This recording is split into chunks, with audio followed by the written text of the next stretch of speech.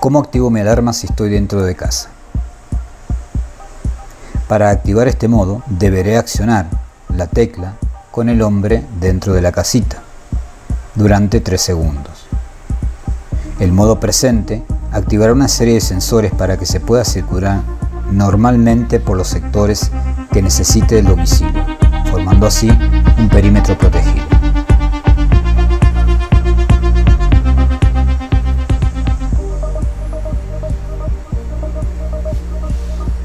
¿Cómo la alarma si hice el modo presente? Para desactivarlo, simplemente se ingresa la clave y el sistema queda desactivado.